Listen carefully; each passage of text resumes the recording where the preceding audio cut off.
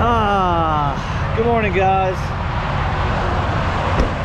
I've been at it for a few hours now. Sorry, we're right by the highway. Hopping out to do a load check. Ah, we got about uh, nine hours and some change till home. So we'll deliver these trucks tomorrow. Still hauling around these classic Chevys. Look how destroyed this truck got with bugs last night. Probably gonna spray that off before I deliver it. Even though if he wanted it protected, he should have paid for enclosed, but I'm a nice guy. It ain't gonna take much for me to hit a car wash and just spray the bugs off for them. smell brakes. I don't know if that's from this exit ramp or what, because I kind of made an abrupt pull into here because I almost missed it. Um, let me check the temperatures on these hubs and these brakes. Check the tire pressure. Uh, on that tire. Um, it's not leaking anymore. Last time I checked it, the uh, the nail's still in there, but it's not leaking. All right, good morning, afternoon. I don't even know what it is right now. What time zone am I in? Still in central time. So, um, I had some recorded already this morning and uh, I don't know what happened. It's all messed up. Anyways, we are in, uh, we're in Indiana now. It's uh, probably another eight hours or so home from here. Yeah, 8 hours and 37 minutes. Now I had just pulled over, well I pulled over earlier and I uh, was doing a load check and I smelled hot, kind of brakish smell. Uh, so I always keep, I'll walk around and I'll show you here. I always keep a uh, infrared thermometer on me and you can get these from Harbor Freight for like I don't know, I think less than 10 bucks. So what I like to do, yeah, we still got these beauties with us.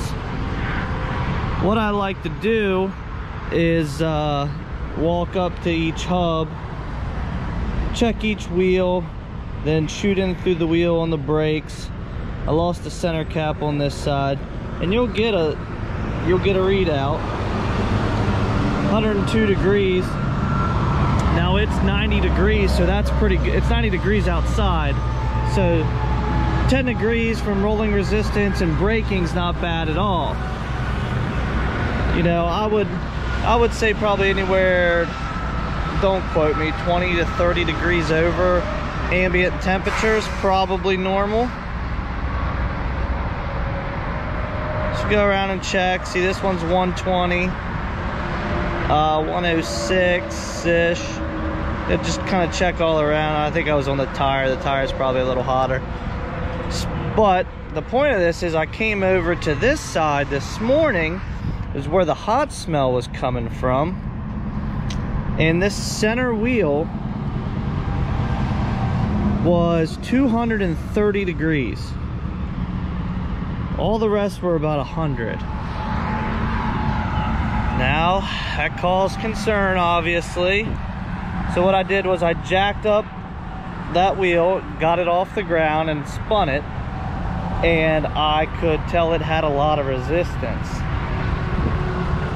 So what I did is pulled the cap off for the um, the axle nut. I popped that off and made sure that that was tight. There's no play in the wheel and uh, that it had grease and it had all that and when he was spinning the wheel I actually had the back two off the ground so I could spin the rear one and it would you know free spin pretty good and that center one was tight so what I ended up doing is getting underneath the trailer um, and adjusting the brakes now when I was adjusting the brakes I went backwards when I was spinning it and I heard like a like a pop wasn't real bad. And then all of a sudden it was, you know, not completely free spinning, had a little resistance. They're supposed to have some resistance, uh, but not be tight like it was.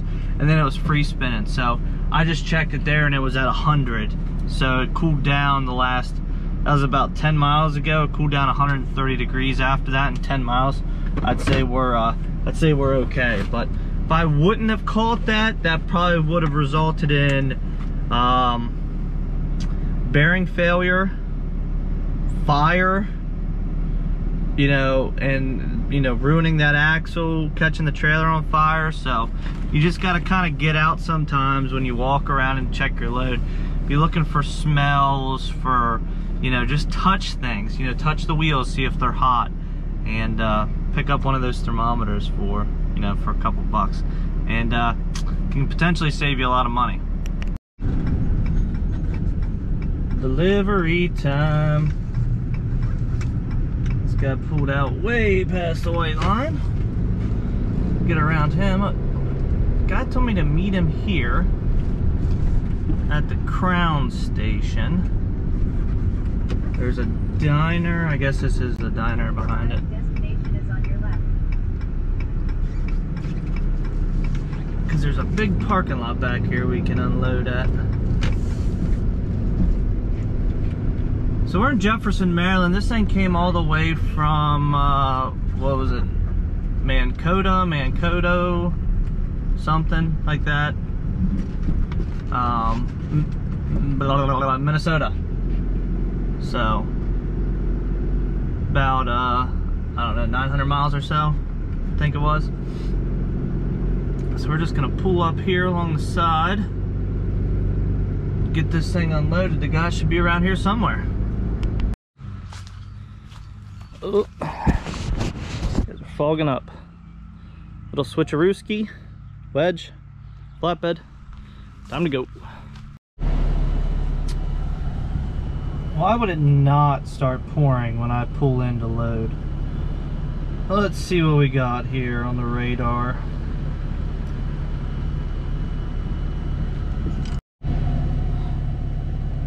Look at this fool walking around in the rain just to find what I'm loading. That's why I come here.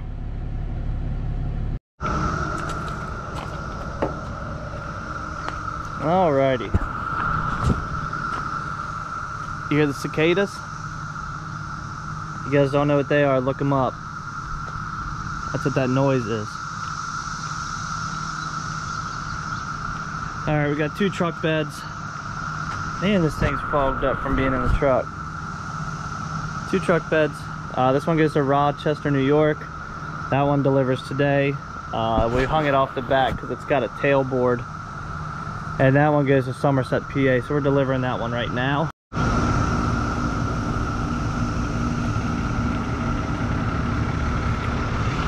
Only about 3,000 pounds, I think, total for all that stuff for those two beds. And uh, those are two separate loads. Then we just got a third that goes to Minnesota, which I was just in. And that should be going, uh, Rochester, New York will go next week, and uh, Minnesota will go next week.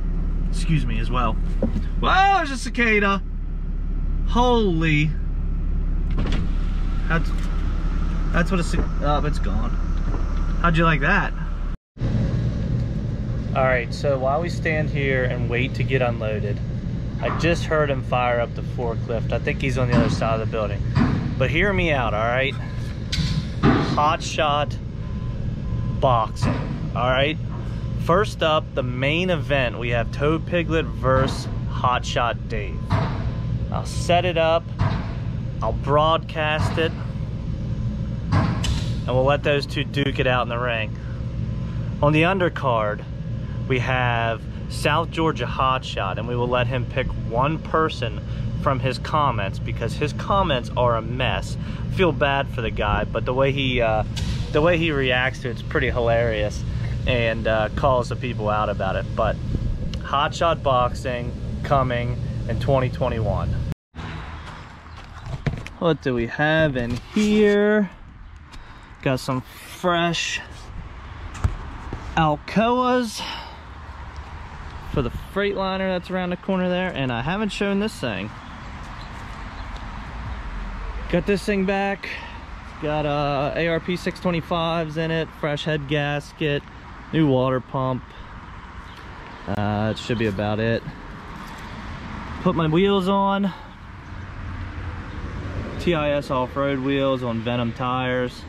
We got 3312 3312 50s or 20 by 10s. I like it. Unload these wheels and off to pick up a trailer. All right, guys, good morning. Welcome back. Uh, we are in, I think this is Bath, New York. Uh, we started at the house this morning. We got uh, about four hours into our day. It's uh, nine o'clock now. We, yeah, we left around five.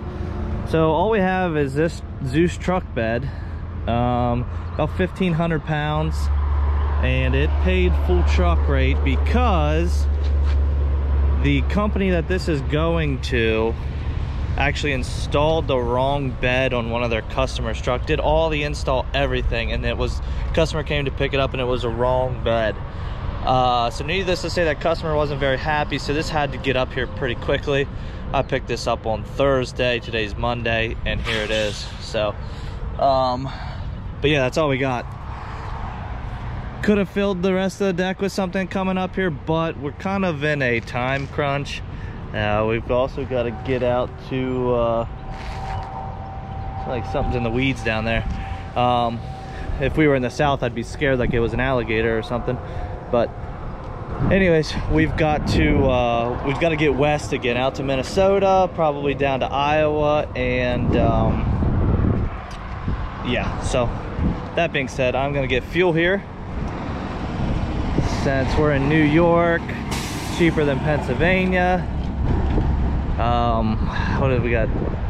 329 there. Let's see what our discount is with the fuel card. We use a tsd and uh, got some breakfast and let's get on the road. So a couple more things before we get any farther. Um, if you guys haven't yet subscribe to the channel hit the like button. You guys have been killing it recently and i really do appreciate it. Helps more than you guys know.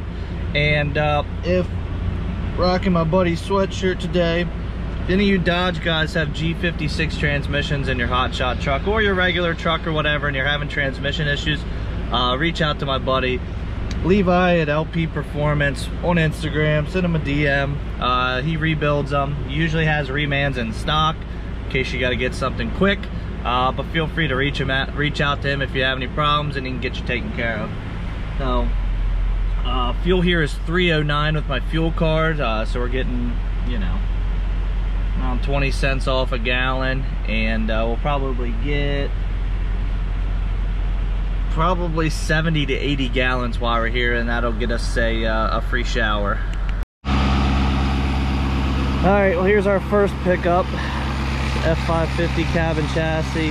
Had to charge them a little extra to take these weeds with us. I had it parked all the way back in the grass over there. But I'm gonna pull it all the way on this way instead of backing it on because then I can nose the mower if I need to up under the back here which I don't know if I will or not but it's one of my customers I'm picking the mower up for. I usually don't know what I'm getting myself into but it is what it is so. Let's get this thing pulled up on here. Brand new F550 goes about 10 miles from my house to an upfitter. Um I don't even know. It's got three miles on it. Let's get it pulled up here. All right well unfortunately we had to put it on backwards we were uh, doing a burnout there trying to get it up on. It's only two-wheel drive. So i could have ramped it but i gave her hell but this valence sits so low that i didn't want to tear up the valence so we just put it on backwards. We'll have room for that mower. I think we'll be able to finagle it up and then do something with the ramps either lay them down kind of towards the mower or or whatnot but She's probably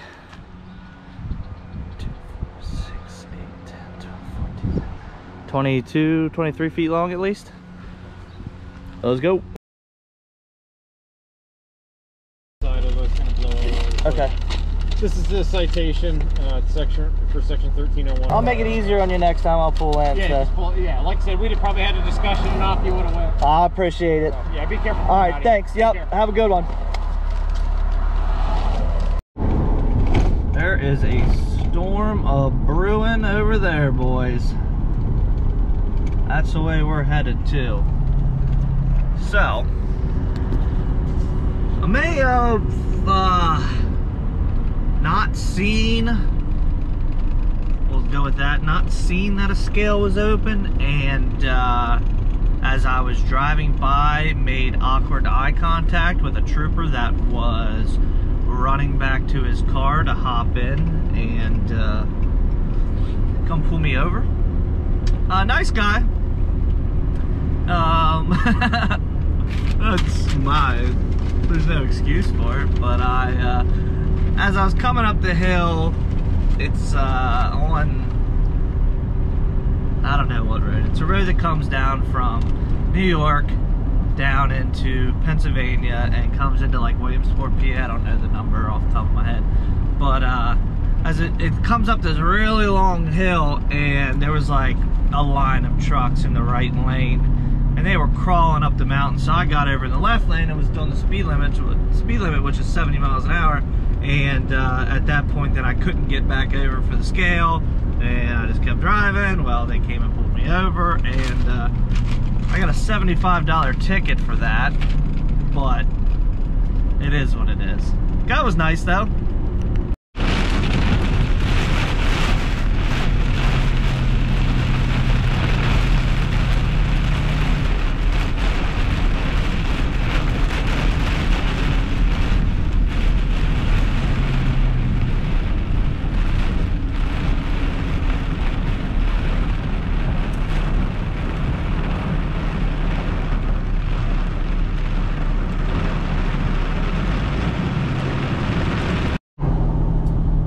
Absolutely no idea where I am. Adam, help me out. I'm on 322. Just came up a really big mountain. Just past the mandatory truck stop and came down the mountain. And uh, I have no idea what town I'm in. So Adam will help us in the comments if he sees this video. He'll see this video. He watches all my videos. And uh, he'll let us know where I am. Swear if it wasn't for the size and the image stabilization of a GoPro, I would throw it out the window and hope I run over it. Never wants to turn on. Always have to like take the battery out and put it back in to get it to turn on. And then when it turns on, it just starts recording in time lapse. If there's any other camera that has that image stabilization, I don't like carrying my big camera all the time because I can't just keep it right here in the center console ready to go if something happens. I just, I'd like my big camera for sit down talking shots. I don't like using my phone because of one, for storage, and two, for um, image stabilization. So if there's another small, like, action camera um, that does, you know, the same thing as a GoPro, let me know that you guys use. I saw the, um, Insta360 Go 2, but it only holds, it only stays charged for like half an hour. And I don't know how much footage it used, but it's literally about this big. And they have it where you could, you know, clip it on your hat, excuse me, and you can, you know, do more hands-on things without having this, excuse me, even though a GoPro is not that big, it's kind of awkward walking around with a GoPro on your head or strapped to your chest. Uh, so I might look into that. But anyways, so I was scheduled to pick up that mower I was telling you guys about. Called the guy on Friday. Said, hey, coming through the area on Monday afternoon. Uh, I'll pick up that mower. He called back on Sunday. It took him Friday, Saturday, Sunday, three days to get back to me and said, um, yeah, anytime on Monday is good. Just give me a call and you're about two hours out. I have it ready call the guy two hours out and he's magically uh, not going to be home now. So I don't have time to wait around today. It is my ETA to home is 5:39 p.m. and I have family pictures at 6.15. I have to shower, I have to change, we have to drive to the location, all in that, you know, 35 minutes from the time I get home. So I'm rushing. The mower's just gonna have to wait. But the reason I just thought about that, I wasn't really that mad. It is what it is. It's for one of my great customers. So I'll just text him and say, hey, the pickup guy, I couldn't get it today. And it won't be a big deal. But the guy was supposed to call me. I was supposed to be at his house at 3. That was the original time. So when he said he couldn't meet, I changed my GPS instead of going there, and I changed it to go home. And uh, he said, okay, well, if I get done early, I'll call you and uh, see where you're at, because I had to come through the area anyways. Or I could come through that area. I took a different way home, but it's 427 now, and I still haven't heard from him, so guess he got caught up in whatever he was doing, and uh, we'll just have to find another day to get it.